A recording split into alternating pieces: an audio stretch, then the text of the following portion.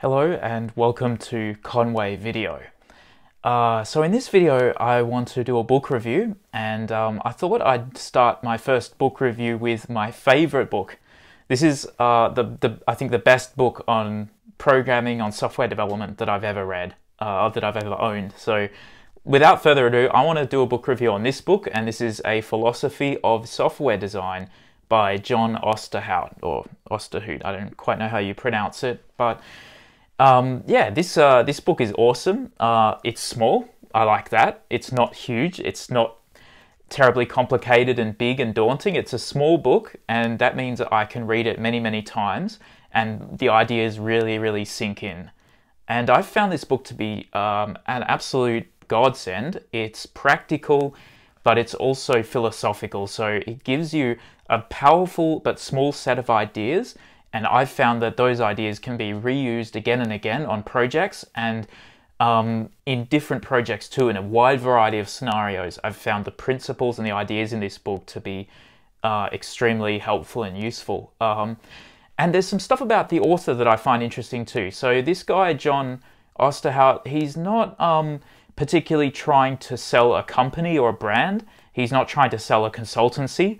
Uh, he's also not trying to sell a particular product. Um, I think he invented some um, popular programming libraries back in the past, but at the moment, at anyway, he's not trying to sell any particular product or tool. So, right from the bat, right off the bat, right from the start, he's not trying to sell you anything um, or at least he is trying to sell a book, I suppose. But you know, he's um, I get a feeling he's got a bit more of an objective, unbiased opinion, and his his focus therefore is also a little bit broader, and he looks at I think a broader set of concerns than just what's trendy at the moment or what's going to sell a certain vendor product or something like that. In fact, if you listen to his interviews on uh, Google Talks on, on YouTube or whatever, he's got some, um, or not interviews, uh, I should say lectures. He's got a number of lectures and he actually talks about what he does day to day, and I find it fascinating. He is a professor, but he is teaching a class which is a new class that he's created himself at Stanford, and this class is just about um, I forgot the exact name, but it's about software construction. And basically, in this class, it's not theoretical, it's not math, but the students actually write programs. They write real programs, they solve real problems, and um, it, it's divided into phases. And so the students will build one kind of application in the first phase, and then they'll all look at the code, and he'll review the code, and he'll mark the code, just like an assignment in, in university. And so, right then and there, the students are getting quick feedback on their code. Um, just like a code review in a real job. And so, and he's using the principles in this book to actually teach them um, by example to show them the parts in their code that could be done better and how they could be done better. And so I think that's a brilliant way of teaching people programming. And uh, he's got this class that he does, and yeah, there's multiple levels. So they'll build one program and then they'll move on to a high level and build something a bit more complicated and so on until they get to the end of the class.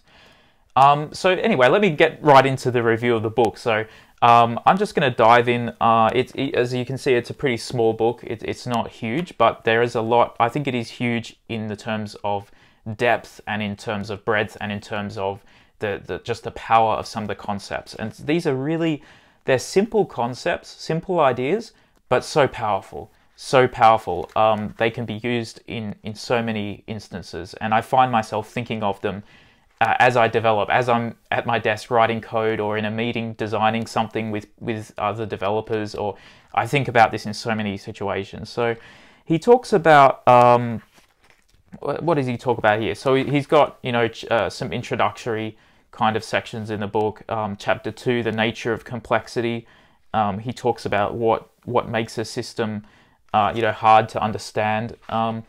And then in chapter three, he goes into working code isn't enough. And I love this because he goes into tactical programming and then strategic programming. And so um, he's looking at um, programming not just in the t- in terms of how do I get this thing done, how do I make this thing work, like so many other books are, but he's then taking a step back and thinking, well, how can the code be used as a tool to achieve broader aims, broader outcomes? And he's got this insight that it's not enough to have working code. You need code that is um, um, that is basically an investment that that compound brings compounding benefits over time. And this is such a powerful thing. It's such a powerful idea and i've seen it in so many cases. If you build a component for example in the ui that's really really useful and reusable that component can save hours days years of work. If you if you build it the right way and can reuse it then the code becomes it gives you a kind of leverage. It becomes like um, it's automated. It becomes like a machine that you just point it and it does what you need. Same with microservices. If you can build a really well designed and well strategically placed microservice that just does does its job properly, that thing can be an investment that pays dividends and it can be worth spending actually a lot of time on a small amount of code when other people are saying, but there's such a small thing, why are you spending so much time on it? Well, if you spend a lot of time getting that thing right, then that will have compounding benefits. You'll be able to build a lot of other modules around it. You'll be able to set up a whole system around it. So I think this is something that's just uh, often not talked about enough in the industry. We're so focused on delivery, delivery, delivery, and delivery is important, but sometimes uh, it's also important to think strategically. Um, you know, think a bit, thinking more like a military general than just like the infantryman. You know, sometimes you do need the soldiers. You do need to be a soldier sometimes and go and shoot the enemy. But sometimes you've also got to be a bit of a general and think, well, you know, what's this? What's going to happen in six months? What's going to happen in five years, ten years? How can we get make the make the best choices to save ourselves time in the future and get those compounding benefits that just build upon each other. And here he's got this really nice chart that kind of just demonstrates, you know, this is just a perfect chart to me. It demonstrates exactly what he's talking about, where, you know, the, there's an immediate boost to the tactical way of thinking, but the strategic way of thinking pays off uh, in the longer term. Uh, absolutely brilliant ideas.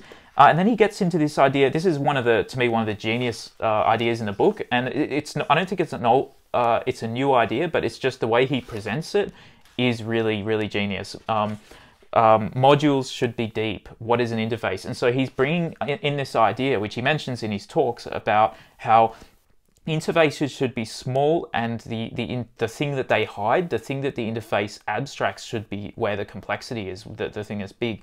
So you want, you want to have modules where the interface is very simple and easy to use and he's got a very good definition of, of, an interface as well, where you know it's the interface isn't just the parameters to the method, right? That's the easy, obvious thing. But the thing we don't often think about is the interface is much more than that. The interface is also uh, things like how uh, how we call it and how it works. Um, you know, for example, what happens if there's an exception? What what exceptions does this method throw? Those are also part of the interface. Or um, you know, how often do you can you call this method? Can you call it hundreds of times in a second and get you know get a, a fast response from it? That's also part of the interface. So he's really challenging us to think beyond just you know an interface is a method with parameters and these are the parameters and that's that. You know, he's challenging us to think deeper. You know, what's there's much more to an interface than just that, and so we have to take those concerns into account. But yeah, he talks about you know um, he's got these sort of red flags throughout the book, and one of them is that you know, shallow modules. You shouldn't have pieces of the code that um, that that don't really do much and that just make the code more complex. They serve no purpose. And he gives the, you know a very uh, very silly and uh, um, kind of extreme example of a method where it's it it takes more characters of code to invoke the method than it just does just to do what the method does. So you might as well as well rip the body out of the method and just put it right there and just just copy and paste the code right there. So and then uh, information hiding. And this is uh, this is also perfect because he's bringing in uh, a bit of, uh, I'd say, design. Um, design thinking or design principles here. Um, information hiding is uh, a concept that's been around in um, inter, uh, interaction design, design in the design world generally. And so he's also another thing I love about this guy's way of thinking is he's taking ideas from design and bringing them into code, and that's very important because we can learn a lot from design. Uh, in a, lot of ways, we are designers. We are we're, we're telling the computer what to do, but we're doing that in a way that other people are going to have to deal with and look at and interact with. Other people are going to have to read the code, modify the code, debug the code. So we're also designers as well as developers. We have to design the code to be modifiable, to be maintainable, to be efficient as well and performant and, and uh, so many things. So, you know, uh, right off the bat, there's a good design principle, information hiding. Um, again, you know, simple interfaces that hide all the complexity. so that when you look at the, the, the interface, you know what it does. You don't have to know all the details. You don't have to know every line of the method just to call the body method. That's really important.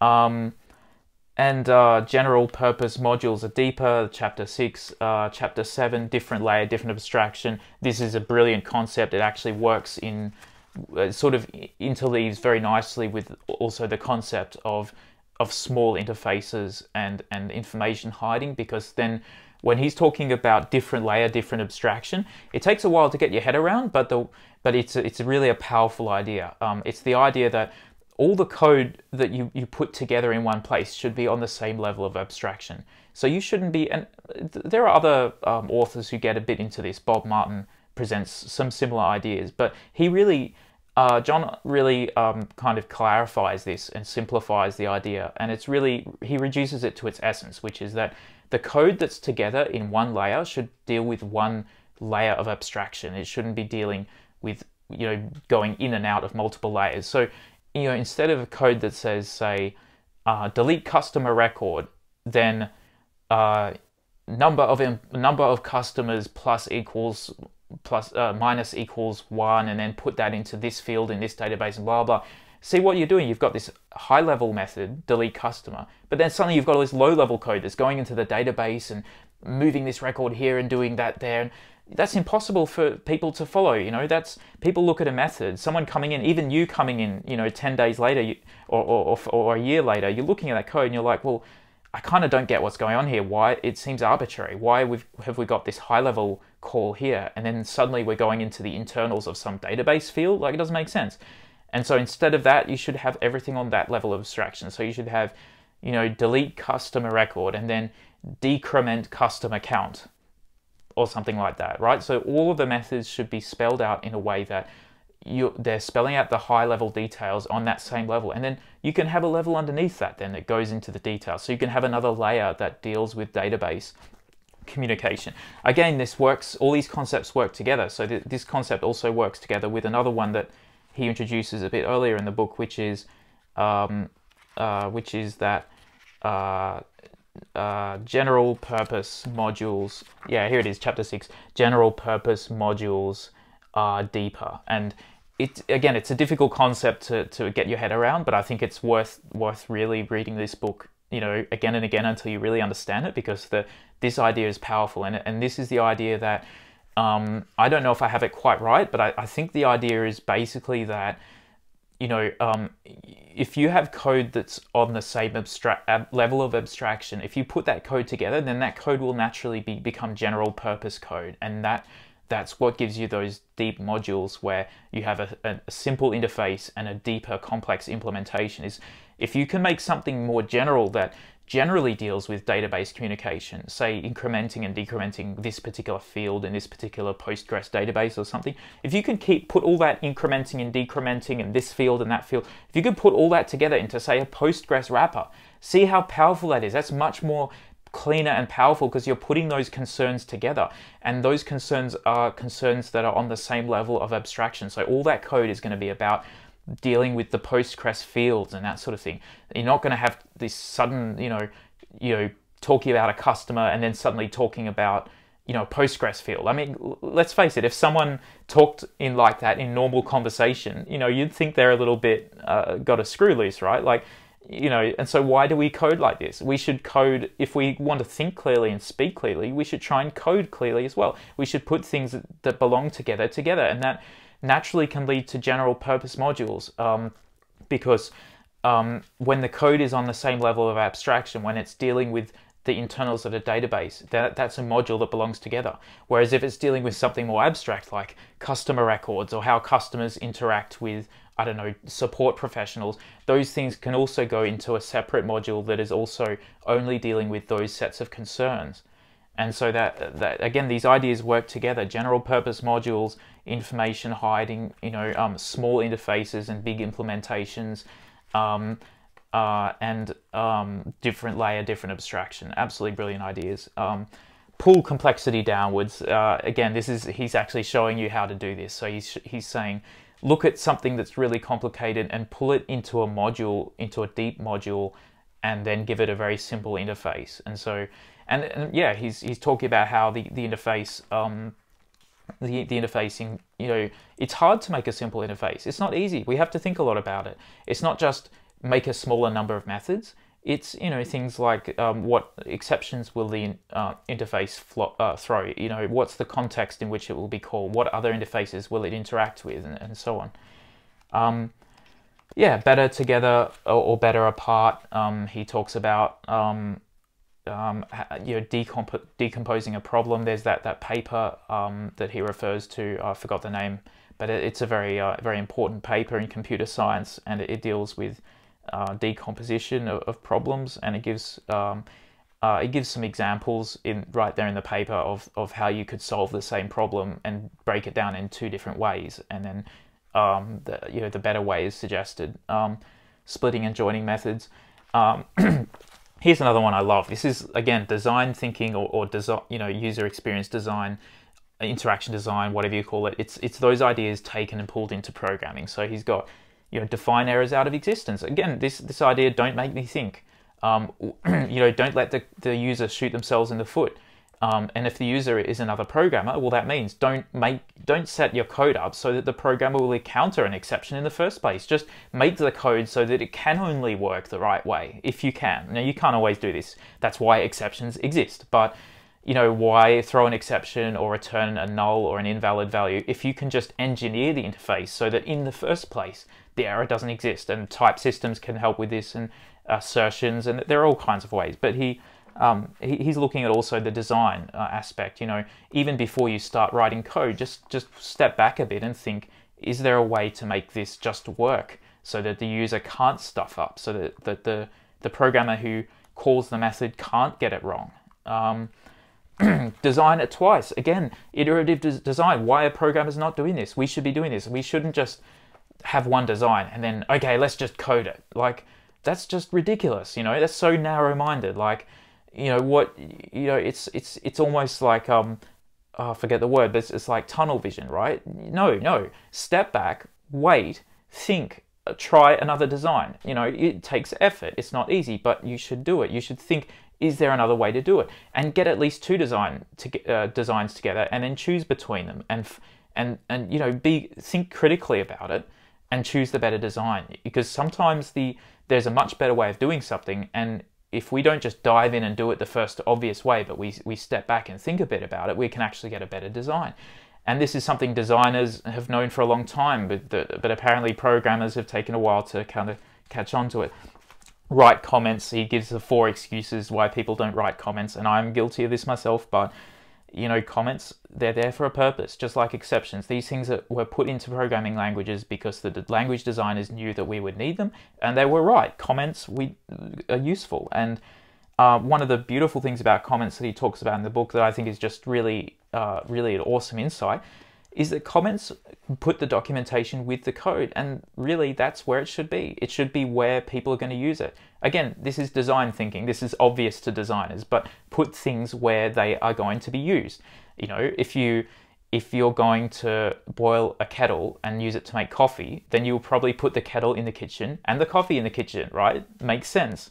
Why do we not do this with documentation of code? Don't put all the documentation in a big giant wiki somewhere that no one's ever going to find. Put it right there in the code and and specifically next to the method or the statement or the expression that you know that the developer is going to be working with. So it's right there. I mean, this is this is a good way of doing things. Uh, and uh, you know, another brilliant insight that um, you know, write the, down the comments first. And and uh, so uh, you know, he's he's saying write the comments in the method of about what you're trying to do before you even write the code. And so the comments will be kind of like the blueprint of what the code's going to be like. This again makes so much sense. Why do we waste time with diagrams and UML? well, okay, maybe not waste time. I suppose these things have their place, but you know, when you actually get down to writing the code, why not just write the documentation and the design itself right there in the code? Why not come up with, okay, I want to do this, and then I want to do this, and then I want to do that, and write them as comments first, and that will guide your mind. It will be like you've put put a stencil in your mind and now you know where to fill in the blanks and it will actually force you to code intentionally to express your intention in the code instead of getting sidetracked and going into like ridiculous details or, or side effects or things that you don't really need the method to do. It'll make you focus on what the method is actually trying to do if you just write the comments first and then write the code that actually does what the comments say. And then, you know, you can delete the comments after that because they've served their purpose, right? They were just there to guide you. But you can keep the comments, and again, he, he's got this brilliant insight. I just love this. Use different words in the comments than in the code, right? So we don't want code where we don't want comments that just repeat what the code already says. What's the point of that? It's just doubling up on ourselves and, and it's useless and confusing. Instead, we want to write, use comments strategically. Use comments to express the things that the code cannot express because the code just doesn't have the language to do it. That's where you use comments. Brilliant, brilliant insight. Again, I've read a lot of books and I have not seen a book express this. That's the power of this book. It's only small. It's not even a big book, but already like here's you know I've just told you five or six just genius insights, and um, I shouldn't even say genius because I don't think it's genius that this guy has. I think it's just hard won experience. He's been in the trenches writing code, thousands, tens of thousands of lines. It's an obsession for him. He he loves this stuff. He lives and breathes it. So any book that he's going to write is about code is obviously going to have like an enormous amount of insight packed into it that you couldn't have. Uh, you couldn't have gotten if you were doing something other than code all your life. But this guy has absolutely dedicated his a good part of his life to the code, and he's got the passion for it, and it shows. It really shows. Um, okay, uh, yeah, choosing names. Um, you know, you, a whole chapter on naming, and that's good. You know, why do we have whole entire chapters about I don't know um, uh, exceptions, all the different kinds of exceptions, or why do we have entire chapters about you know how to do this or that fancy thing in React, but we don't have chapters about naming. Naming is bloody important. You, it's the hardest, one of the hardest problems in computer science, right? That's the, the, the common expression that we like to say. Naming is the hardest problem, right? So, and, and so he, there we go, right off the bat, chapter 14, naming and choosing names. And uh, I don't even want to go into it because there's so uh, there's so many good insights in that chapter um, that you know I uh, just read the book. um, and yeah, he's got a few chapters about some other things like modifying existing code. Um, code should be obvious. Um, I mean, that's uh, that's a really important thing to remember that that, that it, it, should we should try to make things plain and simple and obvious. Um, one of our biggest enemies as software developers is complexity. No, it's not that we're not using the latest version of Angular and the latest version of React and you know the event driven, the event based CQRS. Um, Nginx, um, uh, whatever thing we've created isn't fast enough. The biggest enemy often is complexity. We're making, we're dealing with a complex, complex system. And so the best thing we can do is try to simplify it. And um, often the simplest thing is just to code it the most obvious way. Code it so that you know don't use fancy or whatever null coalescing and infix operators if you don't have to. If you can just make it into a plain if statement that expresses the code in a clear obvious way then you're not going to shoot yourself in the foot. Um, yeah and it talks about software trends. Um, yeah this is a nice sort of wide-ranging chapter. He, he mentions object-oriented programming agile development unit tests test-driven development design patterns. Um, that it's good to just realize that recognize that these are trends right? Let's just not dive right into the trend and try and make all our code conform to the trend. Let's step back a bit and just observe that these are trends in the software industry. And then maybe we can be a little bit selective and have a bit of choice and think okay i do want that. I don't want that you know? Instead of just oh, oh, we've got to do it all functional programming. Oh, we've got to use the latest, I don't know, we've got to use uh, React, RX, we've got to use this, we've got to use that. So let's just step back a bit and, and say, what are the trends in software, right? Duh. Anyway, you can see some of my frustration coming across in this video with the, the, the industry, but um, oh, so many good good uh, insights. Designing for performance, again, he reminds us, and it, it's not a new idea, but it's an important idea. He reminds us that um, we probably should you know build something first and get it working before we try and make it fast. Not that it's not that we shouldn't try and make it fast. Yes it, speed is very important these days. People click and they expect an instant response you know sub millisecond response. But let's first get it working before we try any fancy design pattern or any fancy algorithm or data structure that is supposedly going to bring us performance and measure, measure, measure, measure. He's very right about that. Open those Chrome Dev tools, right? Or put those timers into your C Sharp or your Java code. You know, measure, measure, measure. Look at how fast it actually is, and then use the evidence of how fast it is after your change to prove. We, what happened? Why don't we use these words like evidence and proof? This stuff matters. If you want to make it fast, especially, you need to measure speed and performance because we are not intuitively, our brains aren't good at that measurement, whereas that is one thing that computers do excel at. I'm done selling this book. I love this book. I have no vested interests in the author or the book. Um, I just bought this book. I took a bit of a punt, and I'm glad I spent. I thought this was money well spent. Uh, you can get it on eBay or Amazon. I think it's actually you can probably only get it on Amazon. Unfortunately, I, I didn't see an ebook yet, but um, anyway, hopefully he'll do an ebook at, at, some point. But at the moment, it's just a paperback. But um, my God, what a good book! What a powerful, small, concise, but you know, powerful and well. Uh, well expressed set of ideas and they come from hard won experience. He's not an acad- academic theorist, he's not in the ivory tower, um, and he's not one of these sleazy, I don't know, sales types who's just trying to sell you this company or this brand name or whatever. He's just a guy with a ton of experience in, in programming who teaches classes at Stanford who seems to know what the hell he's talking about.